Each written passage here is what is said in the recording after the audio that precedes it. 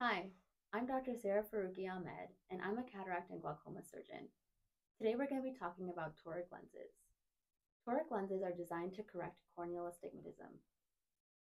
What is astigmatism, and how do we know that we have it?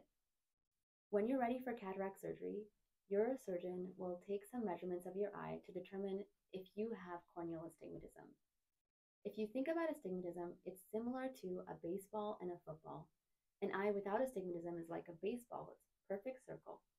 And it doesn't have any distortions in the images.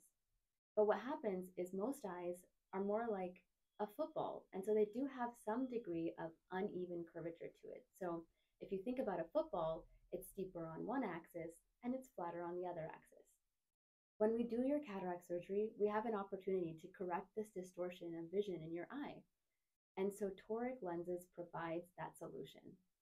Um, when we do cataract surgery, we're able to position the toric lens such that it cancels out the astigmatism that is in your cornea at the time of surgery.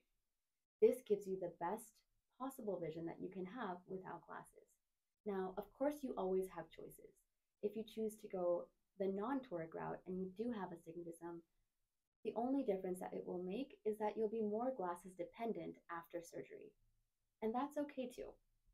It's all about expectation. If you have any other questions, feel free to reach out